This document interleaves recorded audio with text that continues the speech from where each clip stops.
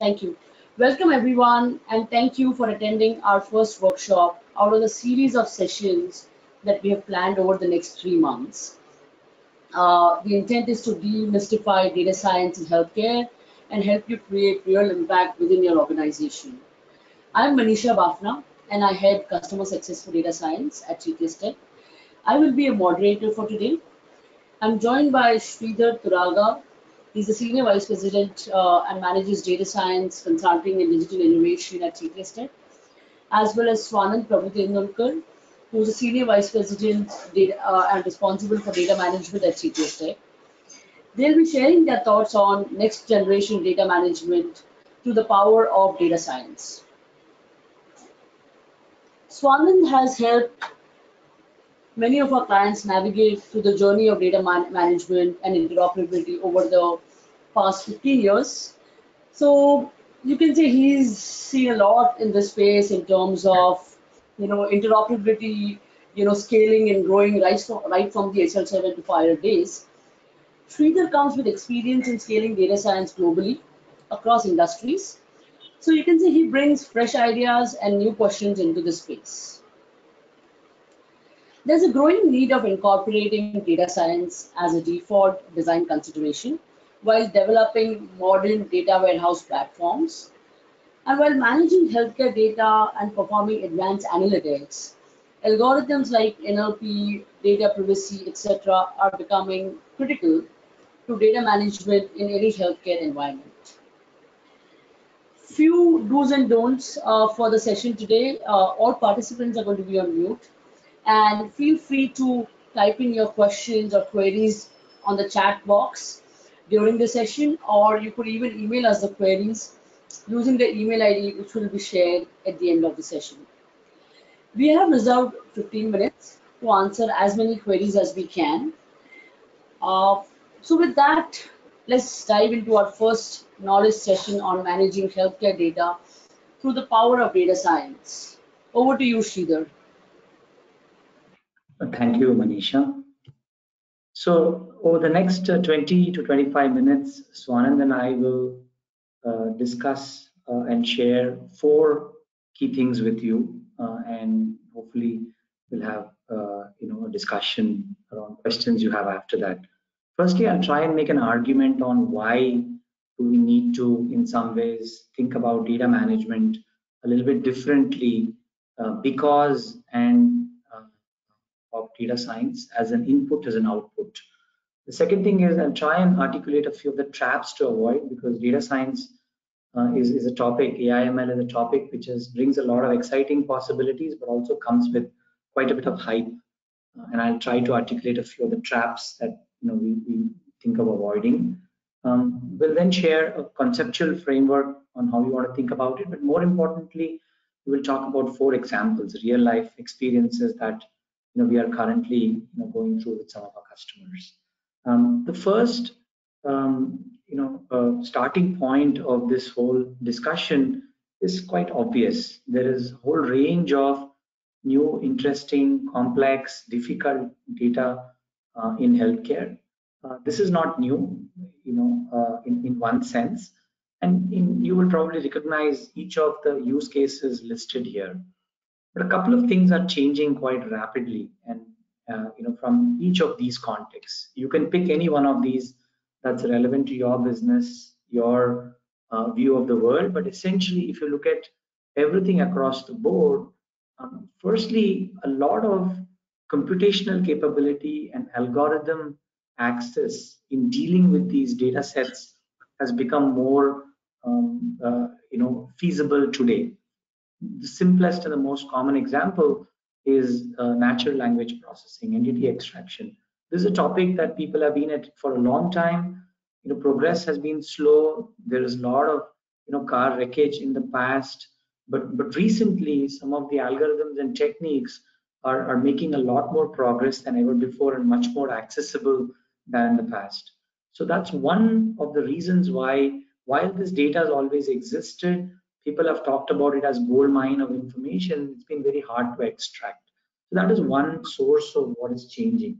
The second reason why uh, this becomes important from a data management perspective is that as organizations adopt more and more data science as a part of their decision making process, as a part of their intelligence systems, as a part of their analytics roadmaps, uh, the need to apply newer features, extract newer insights to make models more predictable and provide an insight that is normally not available is also becoming quite relevant. So for both of these reasons, many of these use cases are being revisited uh, by many of our customers. Uh, in addition to this, which I generally put under the bucket of difficult data, the first uh, topic at the top, you'll also find that there is need to rethink processing logic. We talk about one of the examples where we will we will articulate to you that when you extract, for example, SNOMED classes and other structured data out of clinical notes, it may contradict some of your structured data. So you also want to think about interesting challenges of reconciliation. The other challenge that data science always brings, you know, irrespective of how you use it, that it is not very static. The logic shifts as data shifts, what is called as drift. How do you then think about the underlying feedback loop and monitoring? It's a much more dynamic logic, if I may put it that way. The third aspect, which I touched upon briefly, is that there's also need to deliver newer features. Data science algorithms are very feature hungry in some ways. So there's also need to extract some interesting features out of this data, which is also kind of creating the need for you to think about data management a little bit differently.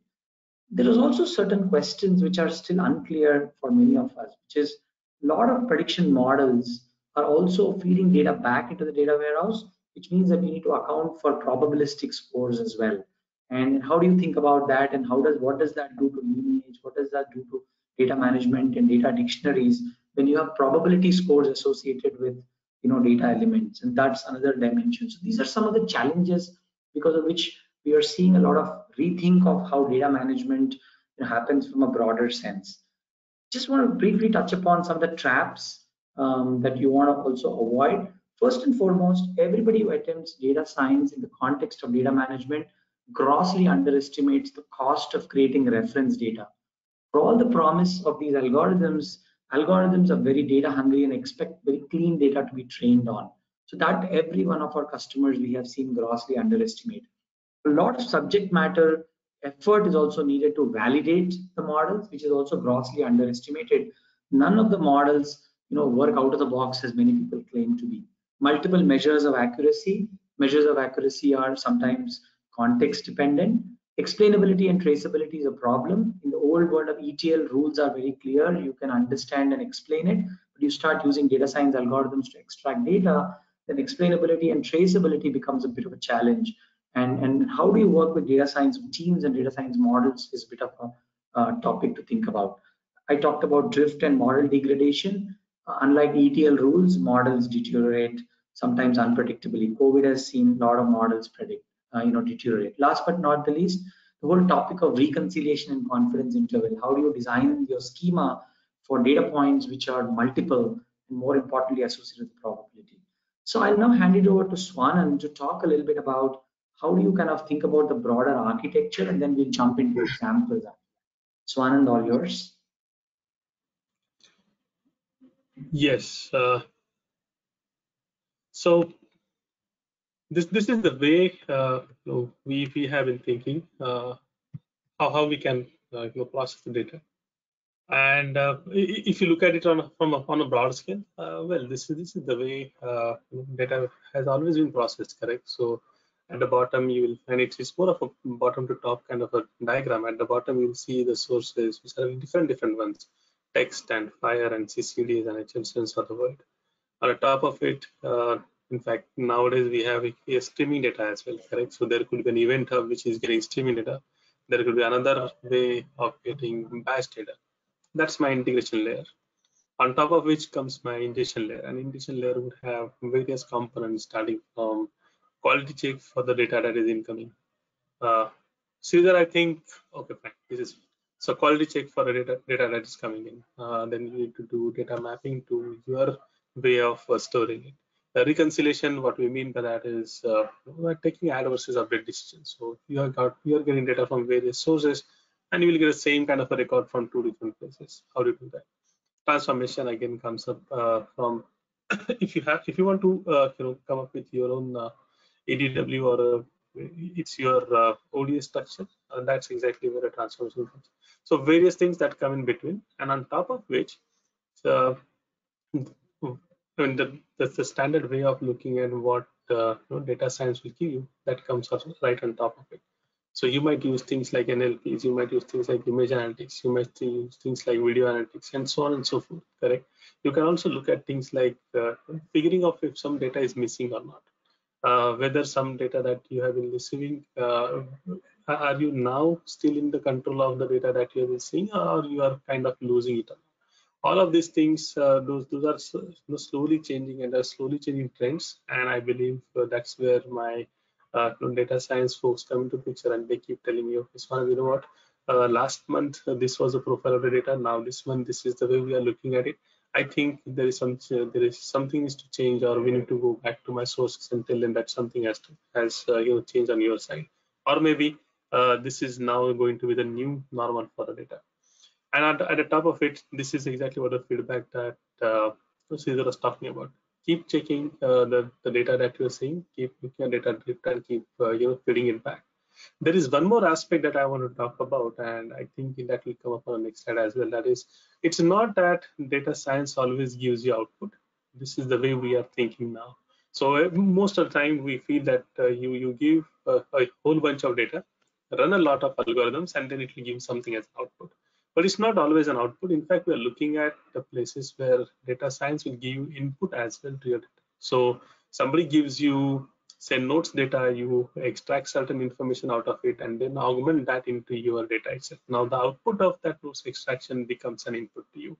Uh, and we just wanted to tell you that, yes, this is something that we have been seeing, in fact, happening a lot more that, uh, you know, from an input perspective itself, data science is, uh, you know, helping us a lot. See that if you can go to the next slide and I talk about some of the know, considerations. So there are a lot of considerations, but for today, uh, for the time that we have, we thought we'd talk about four of them. So unstructured data, uh, I kind of touched upon this one. So you will be getting imaging, PDFs and notes and whatnot. And we can extract actual data out of it. When I say actual data, I mean the, uh, you know, a data which can be looked at in a, in a table column fashion. Right? the good old table column and then yes you can extract it and you can then augment that with your the the, the other table column data fashion. The next is data mapping itself. So uh, they're having a lot of uh, ETL tools. We keep doing a lot of mapping, but the biggest problem that we all know is to do the logical mapping. So somebody tells me, this is a source, this is a target. What is the mapping? Which column maps to which one? Correct? Which entity maps to which one? And that's exactly where uh, the, the bulk of the work starts because someone has to do the logical mapping and give me an Excel that this one maps here and once I give that Excel to my developer, that guy will, you know, finish SSIS or whatever other kind of a maybe Penta or a Talend kind of a work. But then the actual mapping has to come from somewhere, and that's where uh, data, you know, data science can help. And we'll have a look at uh, one of the you know, case studies that we have seen. The next is data quality. So there have been many data quality tools around. They will look at your data. They run quality rules. They let you, uh, you know, develop quality rules of your own. But you still need to know what data quality rules to run on. And what we are thinking is uh, use data uh, data science to look at data and then figure out okay what could be uh, you know the data quality rules itself that I need to apply for the data that I am coming up with. So uh, one way to look at it is I I uh, use a UI and create 50 data quality rules, or my data science algorithm tells me you know what you need these 100 data quality rules, and then I can actually add on to it. That's fine, but uh, someone tells me that these are the quality rules that you require, correct? I might have probably missed out because I'm looking at it from my output perspective and looking at quality of the data. But uh, my uh, data science algorithm will actually look at it not from my output perspective, but it will just look at outliers using the values and things like that.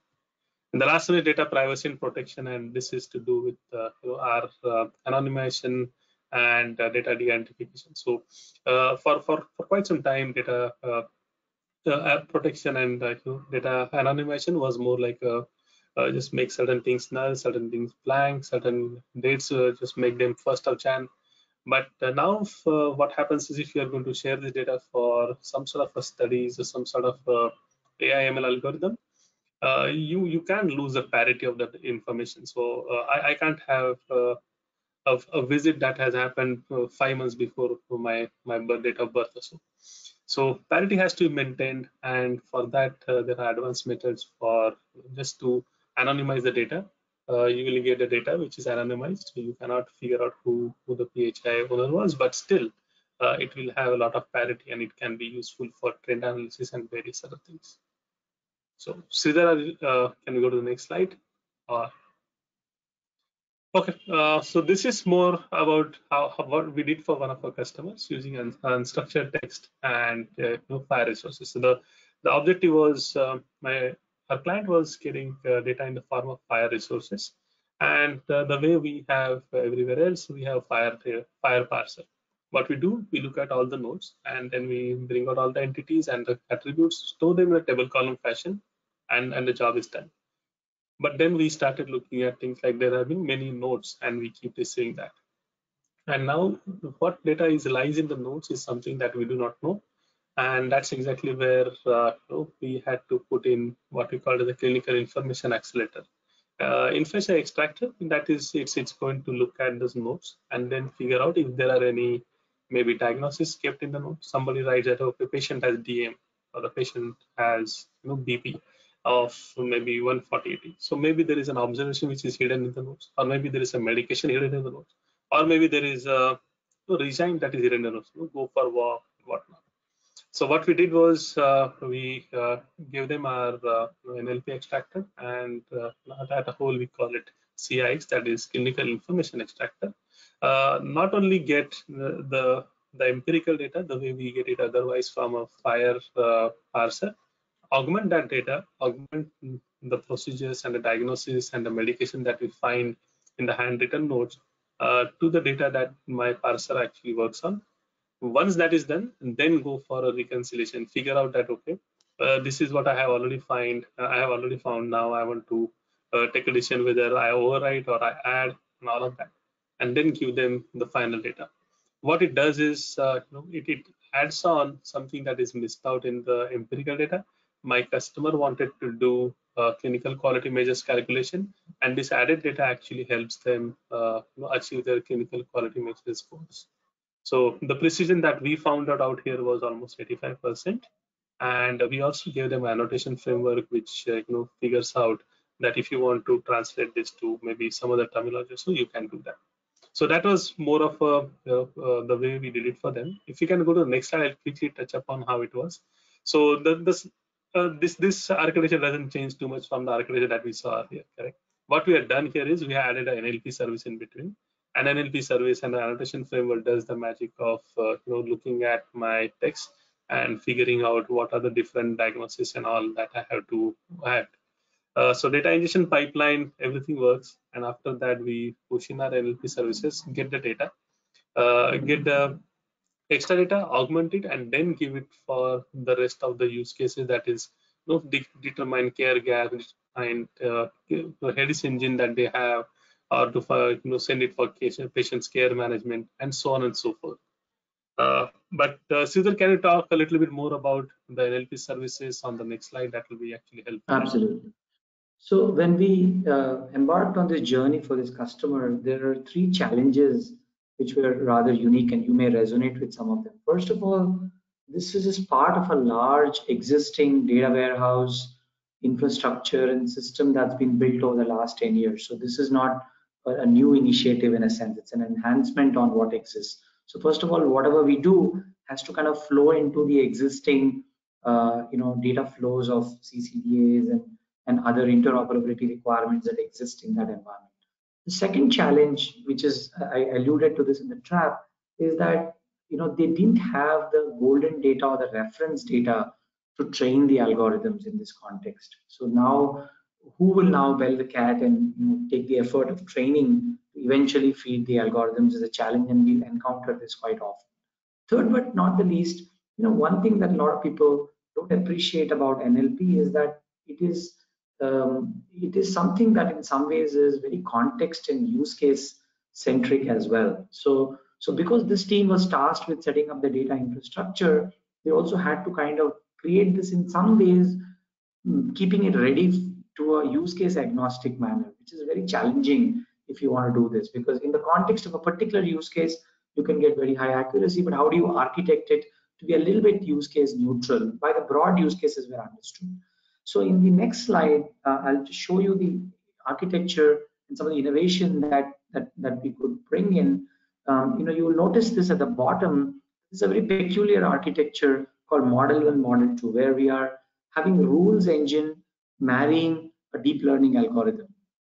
So so the way we uh, went about building this at the top is a standard nlp structure so i won't talk about that. Everybody does that. But the interesting thing of what we did here was that we built a model one architecture where in some ways based on rules um, uh, you know which is a little bit more transparent easy for the subject matter expert to validate and seed the initial data set was the first version. Obviously once you go down the path of a rules based algorithm you're losing generalizability. It is not as extendable as a pure you know deep learning algorithm. We knew that choice. However interesting thing is that we also built the deep learning algorithm in parallel, which was kind of taking the output of the rules-based algorithm and feeding back into the deep learning model to algorithm. So it's a very interesting structure. And this is one of the design structures that we use quite often now to use, get the ball rolling with a rules-based algorithm if you don't have enough reference data. And as the data evolves, use the, you know, I would call it reference data to feed a more um, advanced machine learning algorithm, which is much more generalizable. And then eventually, uh, model 2 becomes the dominant model, which is much more generalizable and much more extendable. So this is one of the structure that we did, which resulted in a lot of reference data as well. The other thing, of course, is from a schema perspective, we also had to take into account the fact that we don't yet have the use cases, you know, on place on day one. So how do you then kind of take into account these reconciliation problem because reconciliation is very context sensitive. For example, some of the extractions from clinical notes were contradicting some of the structured data that was coming in, um, you know, from other objects. Then how do you kind of retain both and kind of reserve the decision to a later date? So that's the structure that we took here, and uh, and and it kind of yielded uh, you know very good results for us. But more importantly, we also married it to the existing architecture. So in some ways, the overall data management um, and, and ETL flows did not change very much. We just kind of plugged in some of this into the existing flows. So that was, I think, why it kind of took off for us. Swanand. Yeah, absolutely. Uh, the next one is about data mapping, and uh, so this is this is uh, we helped uh, one of the leading trial software providers and uh, they partner with the life sciences uh, research organizations. And what happens is in their trial, uh, the entire life cycle of trial, they will get data which is a raw format for the trials, and it has to undergo various transformations. So SDTM is is one thing that is uh, you know, data tabulation model. There is another one that is ADAM, which is uh, analysis data model. So without getting the gory details of what these are, so basically SDTM is more of a tabular data model. ADM is used for analytics for the trials. But uh, the, for the fun part is uh, they have to do so many data transformations and then at the end there will be TFL and then that has to go to FTL. So ADM, TFL, all of this, uh, in some ways we need to give it to FTL. So what is to happen is for every uh, every uh, trial that they conduct, uh, this SDTM file will have few uh, you know, variables, maybe like 50, 60, 80, whatever and then those needs to be transformed to ADM. Though, though SDTM and ADM both are kind of there, uh, the models have been around, but still every time they have to do the mapping. And what happens is uh, there there could be things like uh, the data format is slightly different, and hence uh, the mapping goes wrong, or mapping needs to be done with a lot more care. And hence uh, there was a lot of opportunity for automation. So what we did was we worked with our customer, and we gave them uh, a data mapper itself, which will look at uh, SDTM, which will look at uh, the variables that are required for that study, and it will map it to ADM. Uh, what it will also do is it will uh, look at not only the the text-based mapping that is the name of the column and the name of the column here or the column there it will also look at uh, the type of the column it will also look at the values and it will uh, you know then figure out okay this is the the best match that i am thinking that it should be there it used to take uh, uh, you know, probably five days, six days, seven days only to do this mapping. And now, uh, you know, at least 80% of the mapping is done uh, by this algorithm that we have given to our customers. Uh, can you go to the next slide? And you know that actually talks about yes. So the approach, as I said, right, analyze the study types, the data sets, not just the, the, the name, but also look at the data and things like that. Um, it has given us 80% process automation and it has given us a productivity of more than 75% gain. So it's, it's been helping helping them.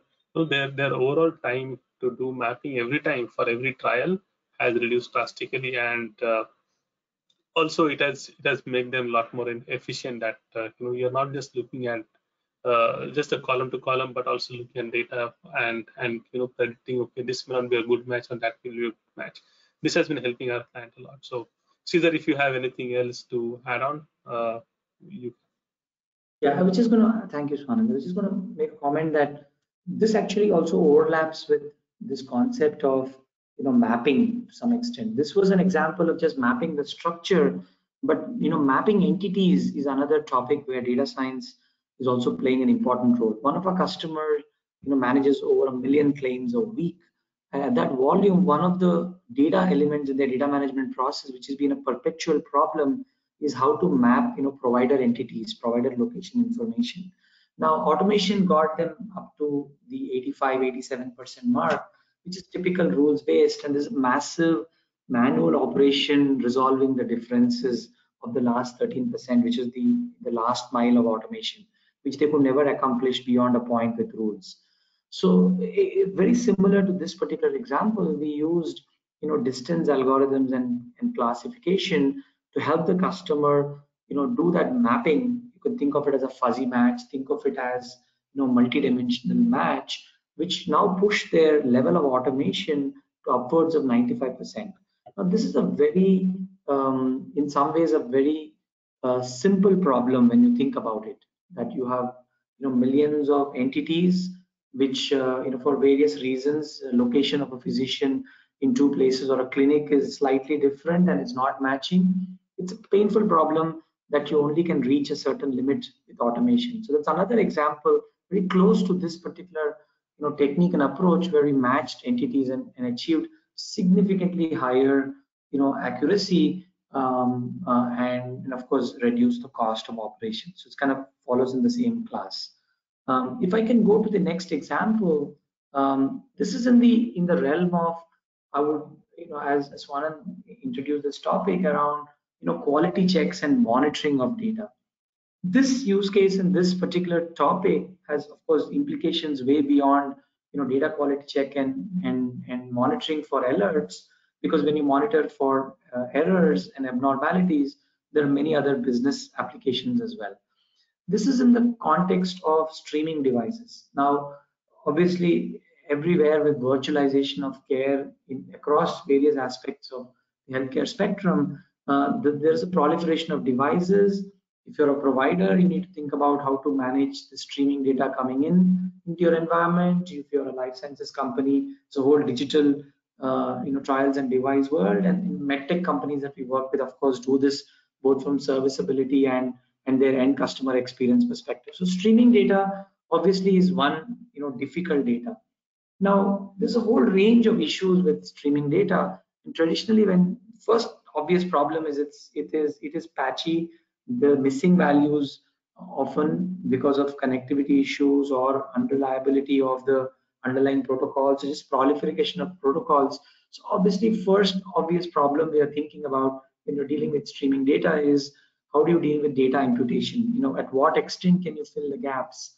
Um, because some of this data kind of feeds into you know other data science models which are sensitive to you know to missing values. So that's the foundational case.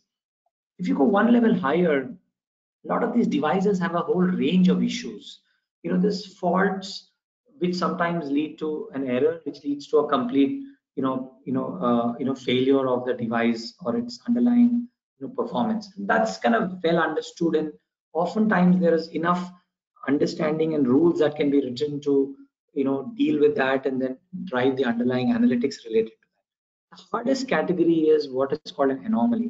It's something is unusual, something is abnormal it's very contextual either it is it happens as a as a as a, as a significant spike that just happens once in a while but not not kind of persisting or only in a certain context um, you know um, this is this is unusual. This may this may be ignored in most cases but in certain contexts this is very unusual that you want to think about.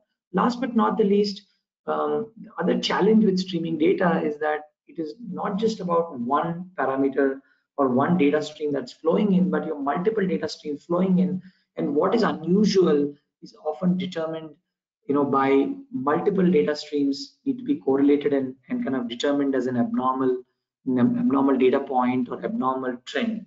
Now, some of you may turn around and say, now, are you going beyond data management? And are you now talking about building data science models? And in fact, that is the dilemma, you know, of this whole discussion, which is that uh, in some ways, data science is, of course, helping deal with difficult data and extract new insights and new features. But the underlying models that are built um, uh, to use some of the data also is creating new data.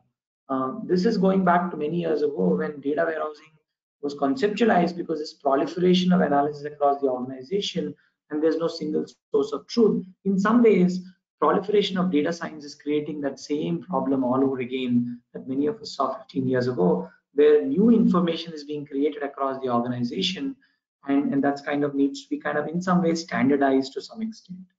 Now here, what we have also dealing with, and this is direct implication to um, you know how you think about data quality management. You know, one of the challenge in just relying on rules is that if more scenarios, more events, and more hidden patterns exist in data, then you kind of are forced to you know eventually write the rules. Somebody has to write the rules. Whole promise of what we are trying to do here, and we call it adaptive monitoring, is how do you, for example, determine what is unusual, the control limits, what is the unusual pattern of data, how does this pattern of data, you know, look an unusual compared to another pattern of data that is happening in parallel. That's the context in which we are monitoring, you know, some of this device data, you know, flowing in, and and, it's it's also from a quality perspective we are monitoring it, but we are also obviously monitoring from a you know performance perspective of some of this underlying data. If you remember, I talked about model one, model two architecture. You will notice here that the rules-based extraction and monitoring is feeding into the adaptive monitoring and adaptive monitoring is feeding into the rules engine. Why are we doing that? The reason why we are doing that is eventually, you know, for practical reasons, for manageability, explainability, audit trail, you want rules. You, you, we at least are of the belief that there won't be a time when data science algorithms will replace rules and will, they'll figure these out automatically. First of all, that is mathematically like not possible. It's an unbounded problem in one sense, but more importantly, it is also unmanageable for organizations to have algorithms that are black box, you know, spitting out abnormalities and processing, given that they're very dynamic. So what we are doing in this case is that we are using adaptive monitoring not to find the abnormalities, but to bubble up rules that need to find the errors. So in a way, the adaptive monitoring algorithm is a rule generator. It is not the actual quality processing layer, but it is a rule generator, which in turn, of course, works in a standard you know, ETL process. So that actually has helped our customer, um, you know, kind of in some ways retain the current team, current technology, current processes. So we're not kind of lock, stock, and barrel replacing that. But on the side, the intelligent engine is generating new rules which can be fed back into the existing structure. The other interesting thing that we are doing here is we are also monitoring the current rule usage. As you know, you know, in any system, there's lots of logic that's been written and a lot of logic sometimes, you know, kind of dies out or is not active anymore or sometimes may contradict. So in some ways, the engine is also monitoring usage of rules and kind of giving you analytics around which rules are actually catching errors and which are not and why and these rules not as active anymore. So that's the design construct that we are using here. This is the broad architecture that's applicable for any streaming data, but you'll notice that within the standard structure, which I'm sure all of you have and have seen before, we've kind of plugged in this uh, intelligence of adaptive monitoring uh, as I said, both from an input data perspective, but also from a device performance, uh, you know, perspective. The next example, the last example I want to talk about is this topic of you know privacy and protection. Now, this is another topic that is obviously under the realm of data management, but is also some of the assumptions are changing and, and you are now being challenged to deal with new questions around that. Why is that happening? There are two topics which anonymization, de-identification, synthetic data generation are also in the realm of this topic. And this is something that a lot of our customers responsible for data management are also kind of becoming accountable for. Whatever be the use case, you need to share data, you need to monetize data, you need to share data in a safe manner, you need to use data to build data science models. How do you kind of protect that data? As Swanand mentioned in his comments, in the past, it was okay to eliminate the PHI columns and kind of use a simple safe harbor methodology, scramble a few columns, and was good to go. Once you get to applying data science use cases on your data, because you're now making decisions using that data and not just uh, using it for testing purposes, now you're stuck with a fundamental balance between re-identification risk and utility. Many of the standard data management techniques that we have used over the last 10 years actually sacrifice utility of the data for safety. The question that will come in front of you, if it hasn't as yet, is how do you balance this utility of data with re-identification risk and can you actually quantify it? So this is broadly the topic of expert determination. The other one, which is a very um, uh, uh, related topic is synthetic data generation. You know, every one of you probably serves not just the production data, which sometimes has to be made available for software development or new areas of development, but also in and around you know test data or other data sets that are necessary to enable software development or maybe even analytics for that matter. So the other area we are seeing tremendous momentum in some of our data management customers is you know how do I generate synthetic data that is a clone of my production data, um, not just uh, not just obviously you know snapshot data but even transaction data and then how do i kind of support that as well so these are in some ways you know kind of intersection between data management and data science and it's kind of hard to determine you know where it belongs but this is something that uh, data management teams are accountable for by the way a lot of cloud migration uh, being attempted for taking the power of some of these algorithms and computational capability requires de-identification and synthetic data generation some of you may also want to kind of explore where synthetic data generation can be used as a foundation for building underlying models. Um, so this is the kind of the balance that you want to think about. Uh, and, and, and I don't want to go into the math behind the expert determination and some of what we do here, but there are some really powerful open source you know, components that we are using like ARX. And more importantly, we are integrating them into the traditional enterprise data management data warehouse infrastructure and cloud integration infrastructure and kind of you know uh, putting traditional layers of microservices and monitoring on top of it with the core de-identification engine where data can be moved safely uh, in a manner that the re-identification risk is measurable um, it can be monitored. At the same time the value and the utility of the data is not lost. Otherwise critical features are lost and many of the data science algorithms become quite useless so that's kind of something to think about. This is the broad underlying structure uh, of some of this, and, and in, in subsequent uh, webinar come January, we'll kind of dig deeper into the intuition behind each of these and how you want to kind of easily adopt some of this.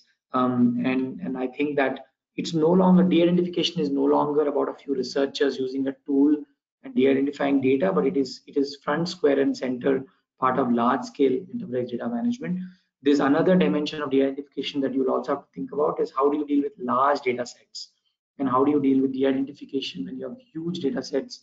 And then how do you kind of do it in a decentralized manner and kind of you know like almost like a map reduced version of de-identification? Interesting research happening in that area. I want to just close out this example by talking about synthetic data generation. For you as you think about this uh, there are three broad buckets um, you know, and, and we'll, we'll of course share this content with you if any of you are interested, but it's also important to know when to use some of these techniques and when not to. A lot of scenarios where you are uh, looking at member enrollment data or provider credential um, or patient visit summary, you know, typical statistics based techniques where you're kind of replicating the distribution is quite sufficient. They're easy to handle uh, and they, they do the job. Uh, when you are now going beyond snapshot data and you want to, for example, create a claims journey you know a pre-authorization journey or a patient journey, and you want to kind of create synthetic data around that, you have to think about more sophisticated simulation-based techniques. And we're doing some interesting work with open source frameworks like Synthea uh, and, and enabling uh, you know some of the software development work that's happening in and around uh, synthetic data. We are also helping customers on this topic because there are new areas that they're entering where they may not have reference data. Then how do you kind of design and validate and build your you know digital platforms when you don't have reference data yourself? That's another use case for synthetic synthetic data. Last one, of course, is you are dealing with more difficult data like images, notes. Then then of course you go down the path of really complex algorithms like GAN, which are not only computationally expensive but extremely hard to interpret. So I just wanted to kind of make give you the intuition that there is a whole range of techniques available. There is quite a bit of things that you can do that serves 90% of the uh, use cases and, and, making considerable progress in that area. So this is the four examples we wanted to share with you. Um, there's of course more reference architectures and details. Yeah, take some questions. Uh, yes. There are a lot of questions flowing in, and if you can keep the last slide uh, up so that you know uh, uh, folks can also email the questions to us. So if you can uh, switch to the last slide. Thank you, Sridhar. So uh, Sridhar and Swanand, I'll probably, in the interest of time, we'll probably be able to take only two or three questions. And participants, uh, you can note down the two email IDs at the bottom of the slide, and you can uh, you know, feel free to send us uh, you know questions uh, offline, and we'll try to respond to as many questions as possible. And uh, you know let us know if we can help you in any ways to design your uh, next generation data management strategy all right so one of the question is uh, do the data management tools provide direct insight or solutions or do they provide an output that can be fed into an analytics platform to be consumed so I'll just repeat the question. Uh, do the data management tools provide direct insights or do they provide an output that can be fed into an analytics platform to be consumed? Yeah, um, uh, I'll take a first crack at it and Swanand, please add. Um, yeah. So the the reality is, so if I were to answer this question seven years from now, I would say yes. But the reality is that you know the maturity of many of these platforms to support uh, you know extraction of some of these complex data sets as well as serve some of these use cases particularly in healthcare is is very limited um, you know as we are all common uh, you know passengers in this journey you know healthcare data sets have a lot more you know context and, and in some ways have a lot more linkages than other industries. So, so, so the simple answer to your question is that at least the examples that we talked about, um, you know, you you are in some ways um, in the short term required to assemble the components. But uh, one thing I, as I reiterated every point, is that you want to design them to fit into your existing uh, data management, you know, investments that you've made. Uh, it, it, they, I at least do not think of one use case today where you need to, they, of course, there are edge cases, but where you need to lock, stock, and barrel replace that to generate these new insights. A lot of these algorithms can be plugged in and kind of enhanced what you have today. But I, I, I think majority of what we talked about today, you have to leverage, uh, you know, data science libraries to get what you're looking for. Swanand, if you want to add something, please. So yeah, what you said is right. I, mean, I haven't seen. I mean, there are many tools which claim that, but uh, essentially what happens is they will give you some algorithms or maybe some libraries for that, but uh, it's not a direct. And you still have to you know train your algorithms. You still have to give it, feed it the data, see data, see what it gives you back, and only then uh, things start moving. It's not that uh, I take a tool and then know, it starts spinning everything else around. That's that's not something that happens, or at least I don't think it, I don't think it will happen so soon. Yeah, Manisha. All right, so guys, uh, I think we'll have to end our session now. Uh, so thank you everyone for joining this uh, session. And uh, you know, we couldn't take a lot of questions live, but we have noted down all your questions, and you know, we'll respond to each one of the participants offline. Thank fine. you.